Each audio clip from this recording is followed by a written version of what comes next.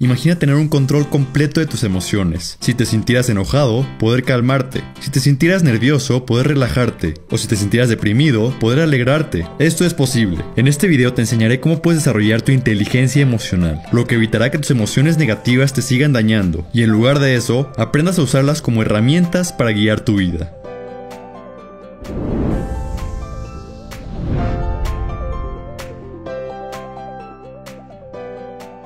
Este video está inspirado en el libro La inteligencia emocional, en donde Daniel Goldman explica de manera muy precisa cómo es que las emociones están diseñadas para guiarte por la vida y no para dañarte. La mente tiene cierta complejidad, pero décadas de investigación han llegado a la conclusión de que la inteligencia emocional se puede desarrollar, y esto te dará la capacidad de dominar, controlar y manejar tus emociones como mejor te parezca.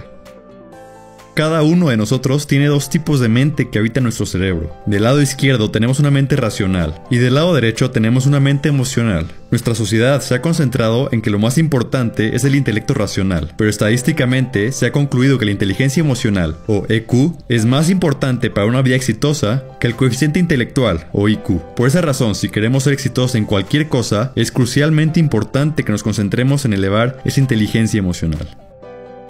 ¿Te has preguntado por qué somos tan impulsivos? Antiguamente, cuando la supervivencia física lo era todo, la estructura de nuestro cerebro creció con el modo de actuar antes que pensar. Un modo muy útil en una pelea con otra tribu o cuando te enfrentas con un león hambriento. Pero hoy en día, en pleno siglo XXI, seguimos con esa misma estructura cerebral, en donde sufrimos secuestros emocionales. Estos secuestros emocionales nos llevan a perder el control de nuestra mente racional y nos volvemos esclavos de nuestras emociones. Esto explica que realicemos actos sin sentido, como por ejemplo gritarle como loco a un ser querido por un accidente que cometió. Ya es tiempo de que nos eduquemos emocionalmente, civilicemos nuestro cerebro y lo acostumbremos a pensar antes de actuar.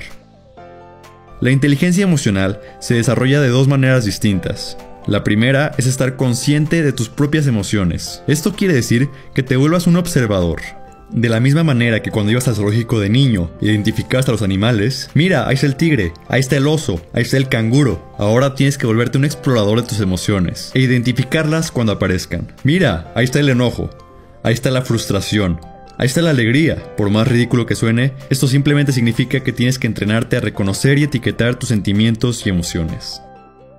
La segunda manera para desarrollar tu inteligencia emocional es regulando tus propias emociones. Esto significa que al sentir un sentimiento o una emoción, tú decides cómo vas a responder en los siguientes segundos. Tú tienes la capacidad de ordenarle a tu mente emocional que se haga a un lado y que la mente lógica retome el control del barco. Para darte un ejemplo, imagina que estás manejando en la ciudad y un coche se atraviesa de manera muy imprudente enfrente de ti. Nuestra primera reacción es explotar contra el conductor y gritarle toda clase de insultos. Tu miedo desencadena una lluvia de emociones negativas enojo, frustración e ira. Pero recuerda lo que aprendiste hoy y haz lo siguiente. Primero, tienes que reconocer las emociones que estás sintiendo y etiquetarlas. Y luego, date cuenta que tú tienes la capacidad de tomar control sobre tus emociones. Respira lentamente del 1 al 5 y deja que tu cuerpo estabilice la presión arterial. 1, 2, 3, 4, 5. Durante este proceso, tu mente racional retomará el centro de comando de tu cuerpo y reaccionarás de una manera mucho más lógica y prudente, evitando perder el control ante el secuestro emocional. Las dos cualidades, identificar tus propias emociones y regularlas, son habilidades que dependen de una buena comunicación entre tu mente racional y tu mente emocional. Es fundamental que para evitar problemas, fortalezcas la relación entre estas dos partes. Entre mejor se comuniquen tus pensamientos y tus emociones, mejores decisiones podrás tomar. De manera diaria, practica esos principios y muy pronto comenzarás a notar un cambio radical en cómo te relacionas con tus emociones.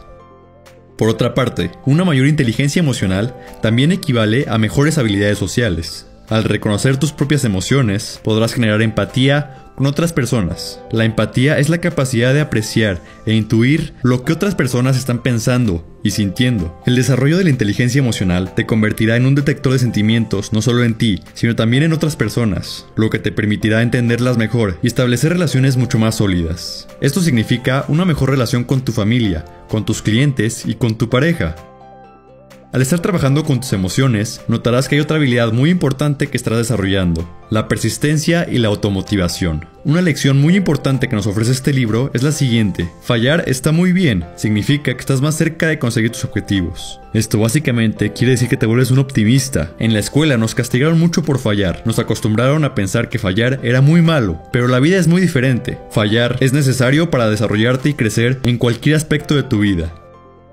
Imagina que quieres lograr un objetivo, pero por más que lo intentas, fallas y fallas y fallas, mucha gente se por vencida y perdería toda motivación por seguir adelante. Pero una mayor inteligencia emocional te permite poner a tu mente en modo optimista, por lo que generarás pensamientos positivos que se convertirán a su vez en emociones positivas, lo que significa que por más que falles, tu mente se sentirá motivada de seguir intentando, intentando e intentando hasta que logres el objetivo. Así que la próxima vez que algo te salga mal, recuerda que los sentimientos negativos que sientes pasarán y sigue intentándolo. Poco a poco acostumbrarás a tu mente a ser más optimista y notarás una transformación en tu actitud. El siglo XX se obsesionó con el coeficiente intelectual, porque la industria era mecánica y rígida. En el siglo XXI lo más importante es tener habilidades sociales, crear relaciones e innovar para el futuro. Resulta evidente que todo aquel que quiera ser exitoso tendría que desarrollar su inteligencia emocional. Nuestro cerebro es extremadamente flexible. Podemos mejorar la relación que tenemos con nuestra mente emocional y usarla a nuestro favor. No estamos condenados a una vida sumisa a nuestras emociones. Podemos cambiar si lo deseamos. Lo más fascinante de la inteligencia emocional es saber que las emociones se pueden utilizar a nuestro favor. Las podemos utilizar de guías para conocernos mejor, conectarnos con gente y mantenernos motivados durante los momentos más difíciles. Pero sobre todo, tenemos que reconocer que la inteligencia emocional nos abre una puerta en donde las emociones y los sentimientos dejan de destruirnos y en lugar de eso, nos ayudan a convertirnos en mejores humanos. Gracias por ver este video. Espero que te haya servido y haya despertado tu curiosidad emocional. Si te gustó, por favor suscríbete a nuestro canal y compártelo con alguien que se pueda beneficiar. Recuerda que cada semana tenemos un nuevo episodio, así que espero que nos puedas seguir acompañando en este viaje de desarrollo personal. Nos vemos pronto.